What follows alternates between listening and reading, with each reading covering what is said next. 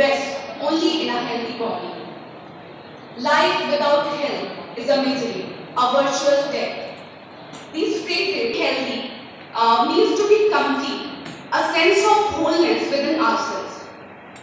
For uh, this to happen, our body should be vibrant, our mind should be joyful, our emotions should be exuberant, our physical energy should be vibrant, and only then we can feel a sense of wholeness. Our Vedic system of education also explains how Annamaya Kosh, the physical body, contributes to the first level in the, uh, in the attainment of bliss, that is the ultimate aim of life. Any system of education, first of all, should focus on the physical aspects and should uh, care about the self. And for that, it can take proper diet, exercise, sports, and yoga. A serious challenge that we are facing today, that we are losing connection with nature.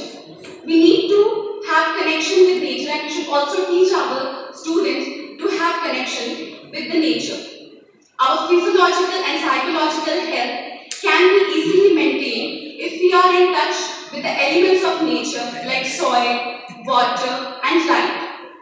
Activities like team sports should also be encouraged for social interaction as it helps to improve our mood and it fosters a sense of self-worth and improves our eh, self-esteem and provides a clarity of thought.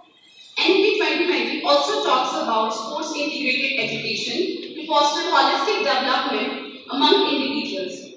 Such pedagogical strategies helps us to develop social skills like collaboration, cooperation, responsibility and citizenship. Finally, I would like to conclude with the thought of a great philosopher, Swami Vivekananda. My countrymen should have nerves of steel, muscles of iron,